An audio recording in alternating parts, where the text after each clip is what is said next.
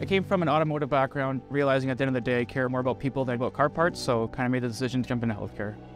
As a senior buyer, it's definitely more the background side of things. You know, we're not patient facing, but what we really try to do is just make sure that, you know, those nurses and the frontline staff can have the equipment that they do need to help those patients. You know, I kind of think of it like as a play, you know, like obviously the actors are the ones that are on the show, but then there's like the play sets and behind that kind of make things run. So definitely just feel that we're kind of here to support and make the things easier for the group.